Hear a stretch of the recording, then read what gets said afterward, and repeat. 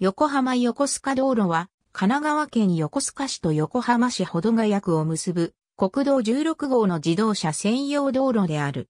地域高規格道路の計画路線に指定されている。略称横横道路、横横。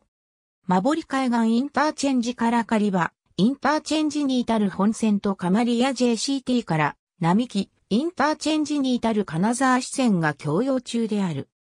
高速道路ナンバリングによる路線番号は後述する国道16号、横浜新道も含めて E16 が割り振られている。国道468号の自動車専用道路として事業中の横浜環状南線カマリア JCT、栄インターチェンジ、JCT、戸塚インターチェンジ間は一般有料道路の路線としては横浜横須賀道路戸塚支線とされている。なお、横浜横須賀道路本線狩場、インターチェンジから連続して、新保土ヶ谷インターチェンジに至る、国道16号横浜新道もここに併記する。国道16号のバイパス道路として、三浦半島を縦貫する道路で、東日本高速道路が管理する道路である。なお、道路表示などでは、横浜横須賀道路などと、横の文字が強調されたり、横横などと略記される。なお、金沢支線のインター番号はすべて枝番である。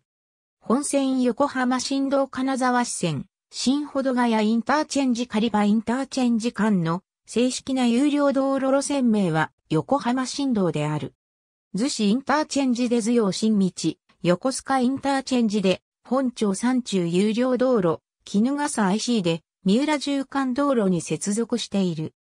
また、まぼり海岸インターチェンジより先は、東京湾を横断し、房総半島に至る東京湾高道路と接続する計画があるが、2021年現在は調査も行われていない。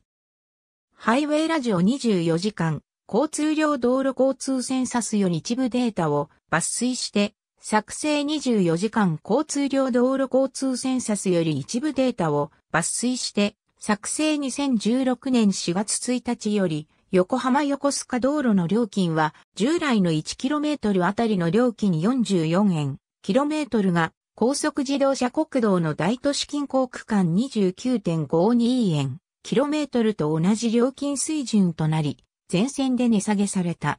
新保土ヶ谷狩場については、料金が徴収されない。普通車の料金は以下の通り。ありがとうございます。